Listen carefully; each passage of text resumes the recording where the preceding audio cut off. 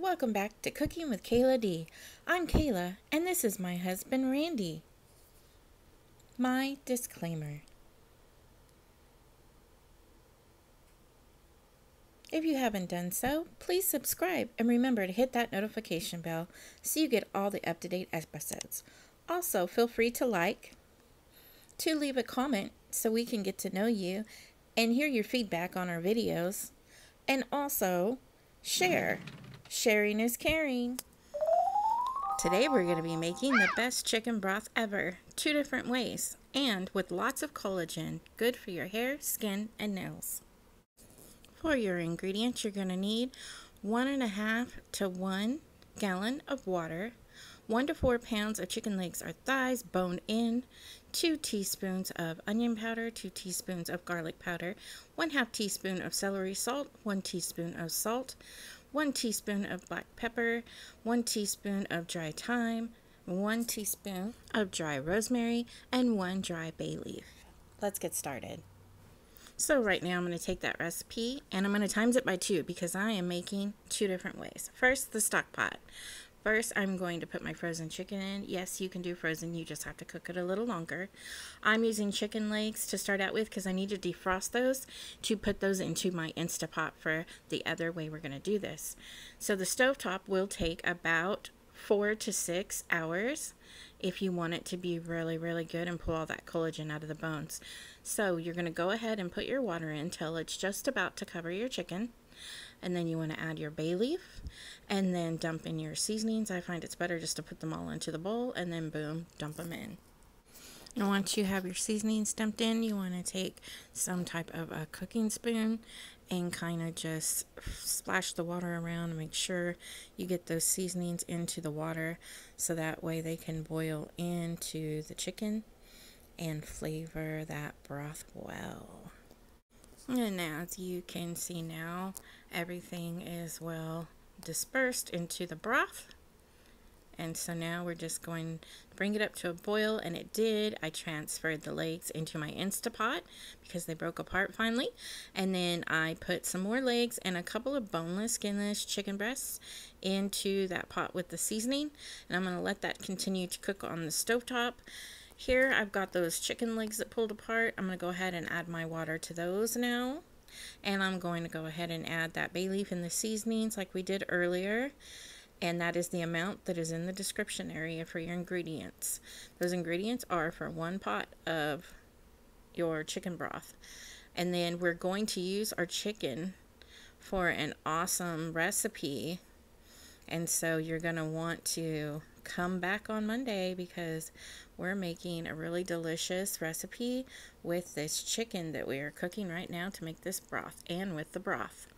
So next I'm going to put my lid on, make sure it's on seal. You want don't want that not to be on seal. And then you're going to set your Instapot to pressure cook and you want to do it for 40 minutes. Once the 40 minutes is up and it goes into low mode, that little silver thing on the top is going to go down when that goes down, then you're going to hit cancel and start it all over again for another 40 minutes. And as you can see, it is down, so we've got it off.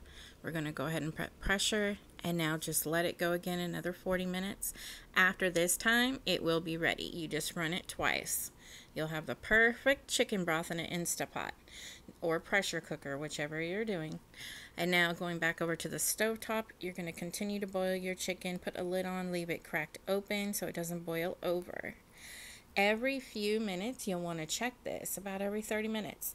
As the water cooks down, as you can see here, you're going to have to add more water to it. And you're going to have to do this several times because this isn't being locked in like a pressure cooker so it continually will need to be add have water added to it. So you'll probably need about two to four gallons of water for doing a stovetop method. And again it does take longer but uh, I'm telling you the broth was amazing and it was so worth the work. After you add your water make to, sure to continue to keep putting that lid on with the crack so that it does not boil over. As you can see here the collagen is starting to come out of the bones. It is looking so good. Now those chicken breast I had put in there, You'll want to, if you're putting any kind of boneless chicken in there, you'll want to remove that after one hour of boiling. You can leave your legs in there, those will stay juicy and tender. But for breast, it does tend to dry out awfully quick.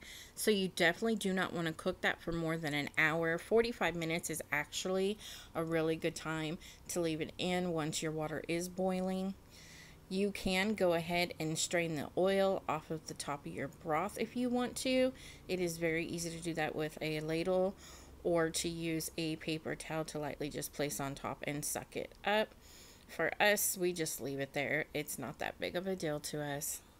And with the chicken broth, when you're ready to strain it and it's cooled a little bit, you want to put a strainer over the top of a container and go ahead and strain that to catch any of the chicken and the seasonings, as like I did right there, as you could see.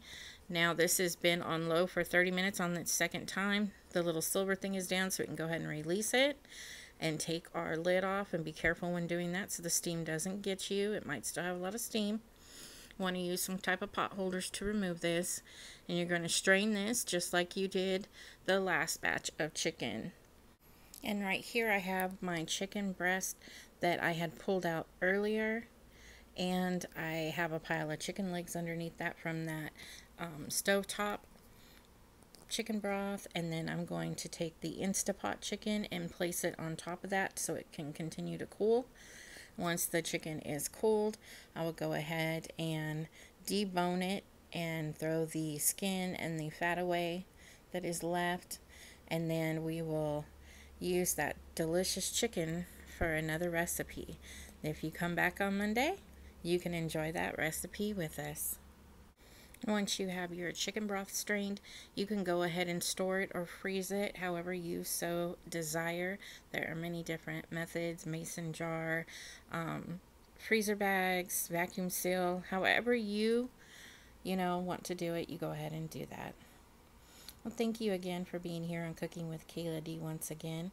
Wanted to share some beautiful photos of the sunrise here in Myrtle Beach, South Carolina. We love where we live, and we just like to share that beauty from God with all of you. So God created man in his own image. In the image of God, he created him. Male and female, he created them. Genesis 1:27. If you haven't done so, please hit the subscribe button right here with our photo icon and we'll see you again soon. Also, here is another recipe if you are interested. God bless you. Stay in that kitchen and keep on cooking.